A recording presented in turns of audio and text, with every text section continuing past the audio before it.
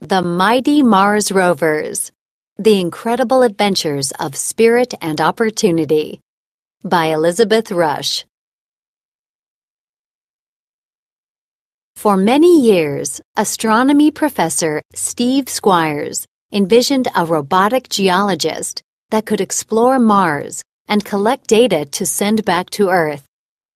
He and his team repeatedly proposed such a rover to the National Aeronautics and Space Administration, NASA. NASA repeatedly said no, but Steve never gave up, and finally, NASA said yes. Steve and a huge team of scientists and engineers worked feverishly to design and build two MERS, Mars Exploration Rovers, in time for a 2003 launch, at a time when Mars would be closer to Earth than usual. Despite many challenges and not enough time, the team made the deadline. NASA launched the rovers, named Spirit and Opportunity, into space in the summer of 2003. In January 2004, Spirit was the first to arrive. Steve and the NASA team anxiously waited while Spirit made her historic descent toward Mars. Note, in this selection, the author refers to Spirit as she and Opportunity as he. As expected, Spirit approached the Martian atmosphere first. She had made it this far, but landing on Mars would be tricky, requiring split second timing. Many things could go wrong, fatally wrong. If the lander didn't pass through the atmosphere just right, it would burn up from friction. A parachute and retro rockets were supposed to slow the rover's screaming descent. But if they didn't deploy, the spacecraft would be smashed to a million pieces.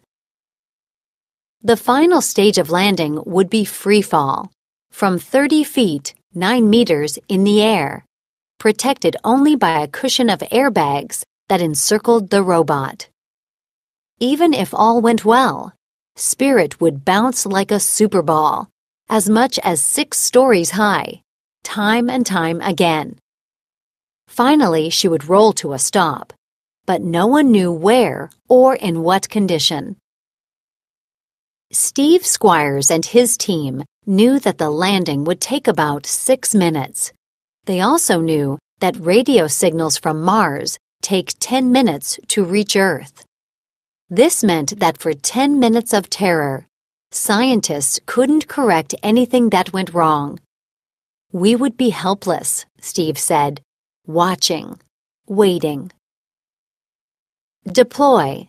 If you deploy something, you move it into position so it can be used.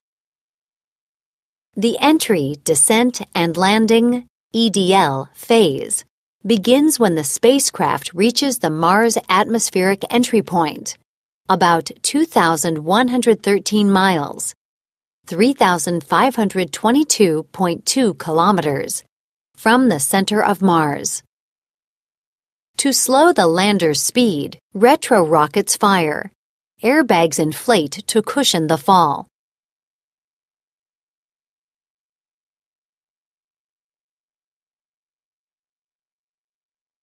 In the large room at the Jet Propulsion Laboratory that served as mission control for the landing, rows of computers made a semicircle around wide screens and people packed in where they could find room. For good luck, all the scientists and engineers at Mission Control munched peanuts.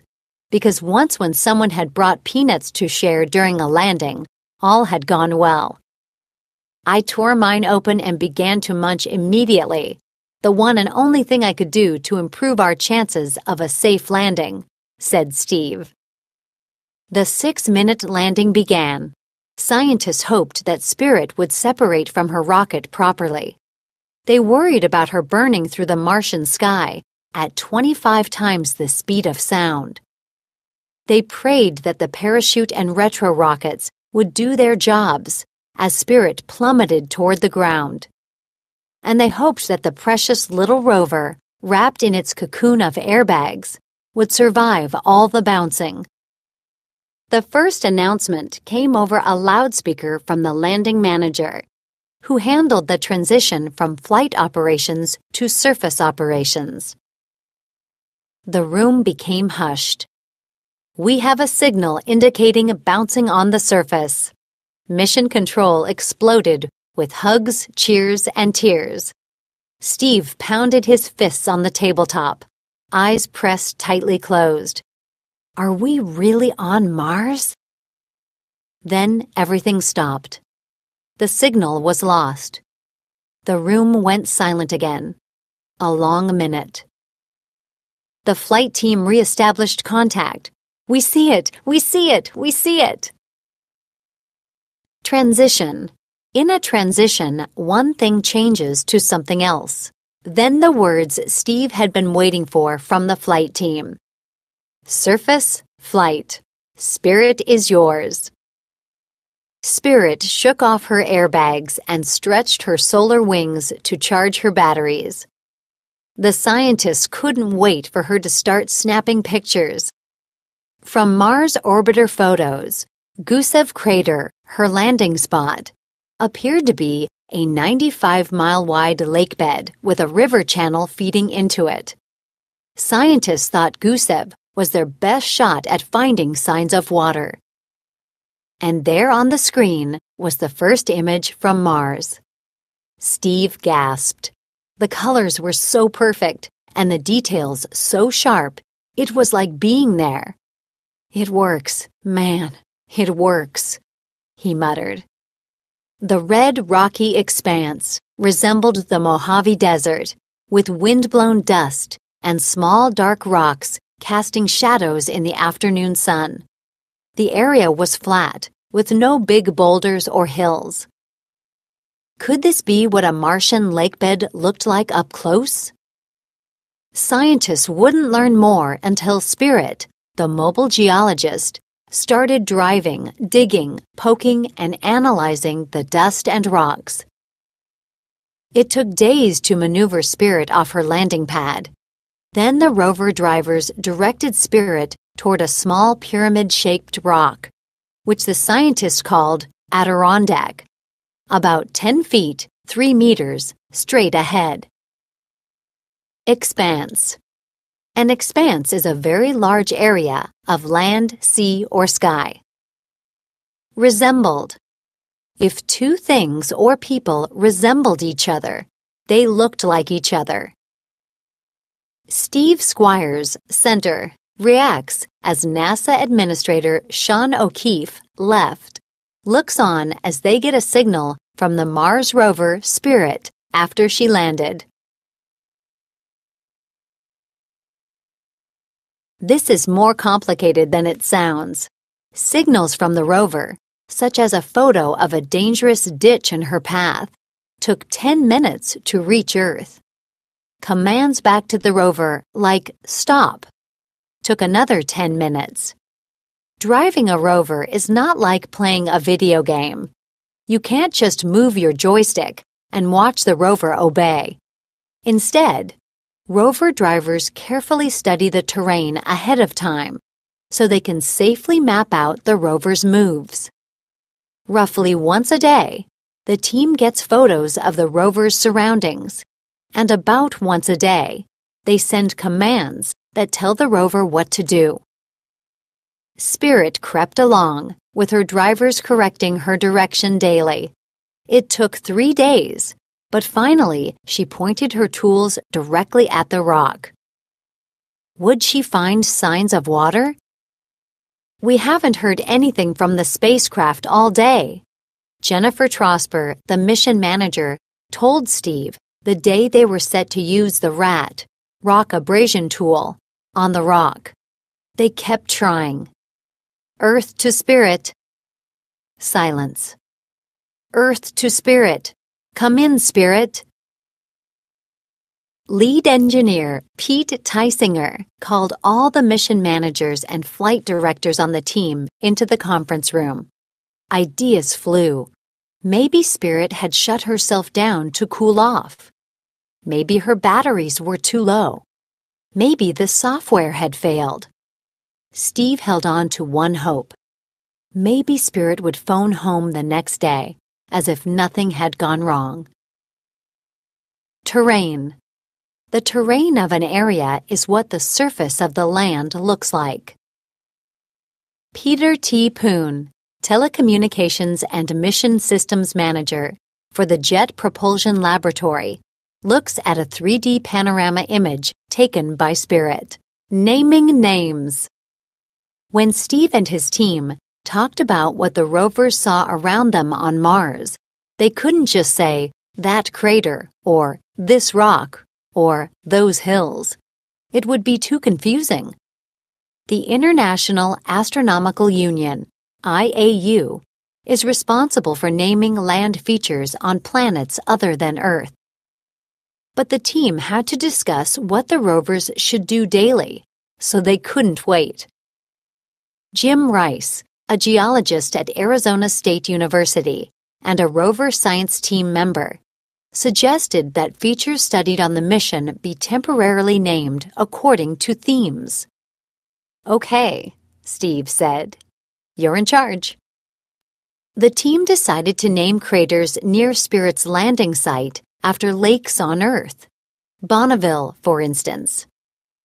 Craters near Opportunity's landing site would be named after famous ships of exploration, hence Eagle, the Apollo 11 lunar lander, and Endurance, after Ernest Shackleton's Antarctic expedition. The Columbia Hills were named after the Space Shuttle Columbia, and each of the seven peaks were named after the lost Columbia astronauts. But there were so many features to name that soon the rules fell apart. Basically, whoever started studying a rock or hill or crater got to name it. So there are place names, Adirondack and Stone Mountain, people names, Burns Cliff and Larry's Leap, and even foods mud pie, chocolate chip, and cookies and cream. Whenever explorers go somewhere, we always want to name things, says Jim Rice. It's just something we humans like to do. International. Something that is international is shared or worked on by multiple countries. Adirondack, Spirit's first target rock, selected because its dust-free, flat surface was perfect for grinding. Spirit traversed the sandy Martian terrain at Gusev Crater to arrive in front of the football-sized rock just three days after the rover successfully rolled off the lander. Scientists named the angular rock after the Adirondack mountain range in New York.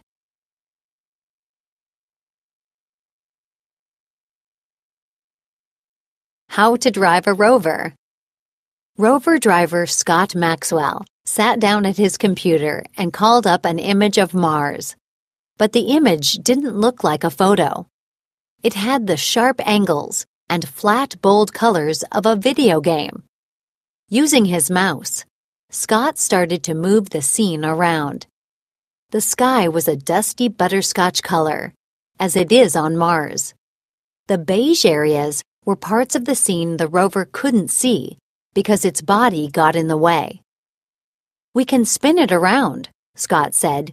The photo whirls. Zoom in on things that are interesting. A rock grows large on the screen. Even mark off areas that we think are dangerous. Scott drew red circles around two large rocks and a small crater. He clicked a rover into the middle of the scene and moved it around. Now we can sketch out a path that we want the rover to drive along, he added. It looks fun and easy, but it's not so simple. The rover drivers test the maneuvers many times before sending drive commands to the rovers. Part of the game is figuring out what things could possibly go wrong, said Scott. If something goes wrong and you break the rovers, there is no way to fix them. Rover driver Scott Maxwell on his first rover drive. That night, I lay in bed looking up at the ceiling, and thinking that right at that moment there was a robot on another planet doing what I told it to do. That was an incredible thrill. That feeling has never left me when I'm about to make something happen on my computer. I'm going to reach my hand across a hundred million miles of empty space and move something on the surface of another world. I have the coolest job. The control room for the rovers at NASA's Jet Propulsion Laboratory. Another tense moment at Mission Control. The whole team was there the next day when Spirit was scheduled to send a signal. We've got data. Steve phoned his wife. We got it, he said, his voice cracking. But too soon the cheering died down and the smiles faded. Spirit transmitted gibberish for two minutes and then shut off. It hit me then, Steve said. The whole mission could be over before it ever really began. While Spirit's engineers struggled to fix the ailing rover, another team of engineers was guiding her twin, Opportunity, toward his fiery landing on the Red Planet. They all knew that if Spirit couldn't communicate and Opportunity crashed, all would be lost. The mission would be a complete failure. Opportunity neared the Red Planet. Crack! Off came his rocket. Opportunity burned through the Martian sky. Whoosh! His parachute ballooned. Roar! His retro rockets thrust against gravity. Airbags deployed. Free fall. Bounce. Way up high. Bounce. High to the sky again. Bounce. Plummeting down and rebounding up again. Bounce. And again. Bounce. And again. Opportunity bounced about 26 times before rolling to a halt. Beep! Opportunity signaled that he had landed. Transmitted. When an electronic message is transmitted, it is sent from one place to another. Ailing. Something that is ailing is not doing well or is getting weak.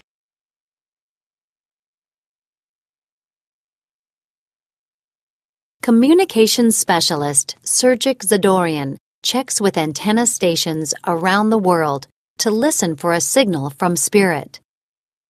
Dawn shot of an antenna at the Goldstone Deep Space Communications Complex, located in the Mojave Desert in California, one of three complexes in NASA's Deep Space Network, DSN. The DSN provides radio communications for all of NASA's interplanetary spacecraft, including the rovers. Chatting with the Rovers In this story, the scientists and rovers seem to speak to each other using words. But scientists can't really talk to the rovers. To communicate, scientists type codes and commands that they beam to one of the three huge satellite dishes in Earth's Deep Space Network. DSN. The dish passes the commands to a spacecraft that is orbiting Mars, usually the Mars Odyssey, which beams them to the rovers at an appointed time. You get a beep from the rover that means, Thank you, I got my commands. Then you don't hear from it for the rest of the day, said Matt Golombek, who manages rover planning. You can't watch the rover, you can't listen to it. You really have no idea what is happening. The team hopes the rovers follow the commands driving, taking photos, and testing and measuring rocks. At a scheduled time, the rovers radiate the information they have gathered to Odyssey via their low gain UHF antennas. Odyssey, directed to listen at that time, collects the signals Sometime later, it downlinks the data to the Jet Propulsion Laboratory through Deep Space Network. The rovers can phone home directly to Earth using their high gain antennas, but they don't have to yell as loudly or use as much energy if they send messages through the orbiter. and they can send bigger messages faster. That pleases the scientists who are eager for their rovers to phone home. Mission Control erupted into cheers. The team was thrilled, but they expected to find less at Opportunity's landing site than they had found at Spirit's. Scientists had chosen Meridiani Planum because it was the safest area to land, flat and featureless. Opportunity would probably have to drive around for a while over the fine red soil, they thought, to even find a rock worth studying. Opportunity shook off his airbags, unfolded his instruments, and beamed his first photos to Mission Control. Holy smokes! Steve Squyres exclaimed. I'm sorry, I'm just, I'm blown away by this. Just 10 yards away, large layered slabs of rock jutted out in front of the rover.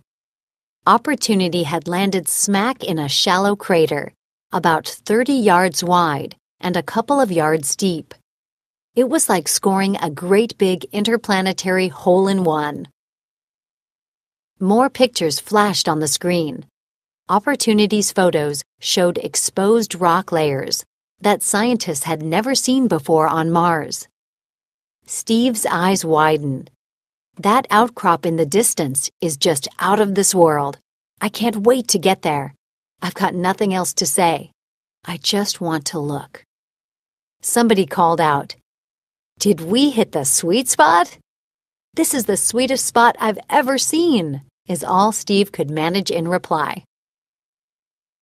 Steve Squyres celebrates with others in mission control at the successful landing of the second rover, Opportunity.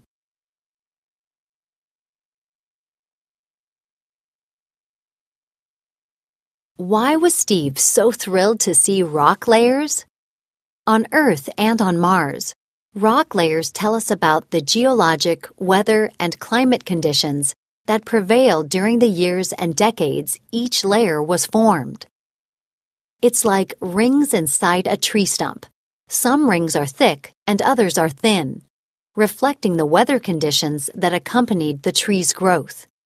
Steve and the other scientists looked at rock layers the rover photographed and wondered whether they were brought about by volcanic eruptions, blowing dust, flowing water, or all three.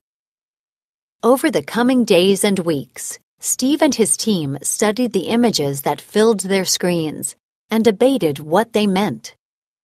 Many of Opportunity's photos featured blueberry shaped pebbles strewn across the soil, like beads spilled from a broken necklace.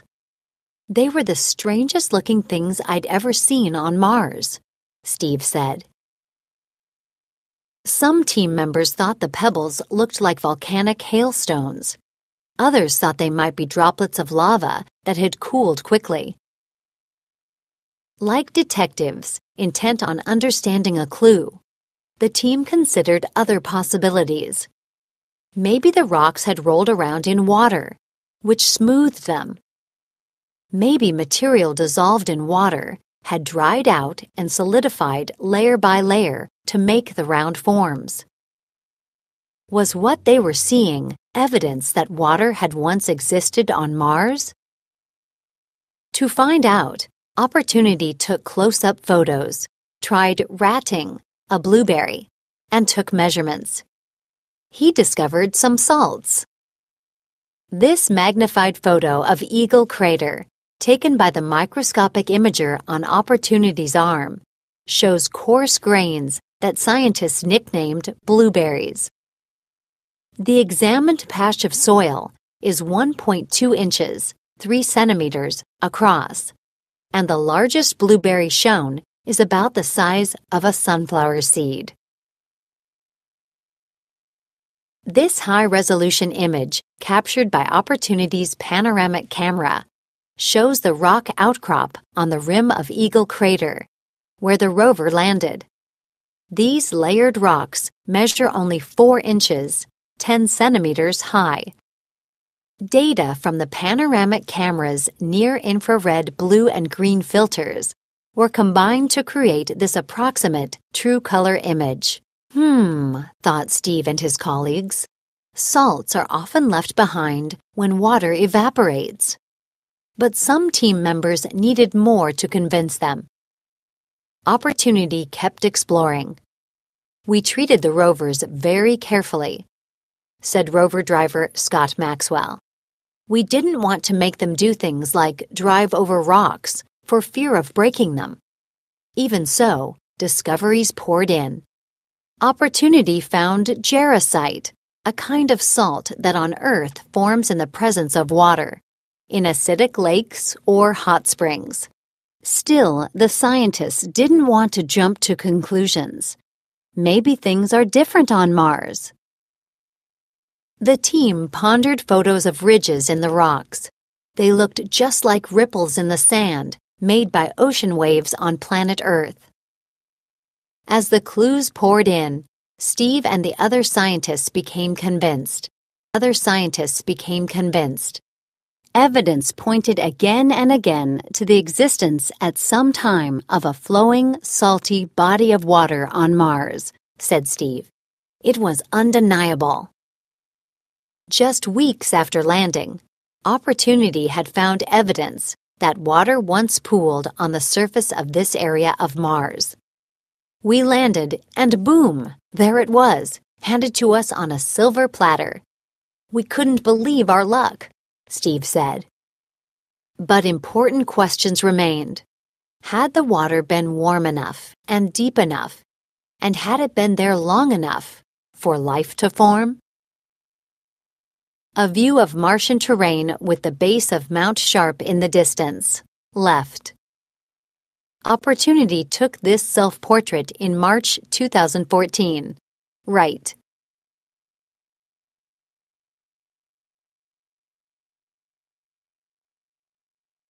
Steve Squyres shares the amazing discoveries from Opportunity's latest images of bedrock in Eagle Crater. NASA was able to fix the initial communications problem with Spirit, and she continued her exploration of Mars. But in 2009, Spirit became stuck in deep sand and ran low on power. Scientists and the public brainstormed ideas to free the rover, but nothing worked.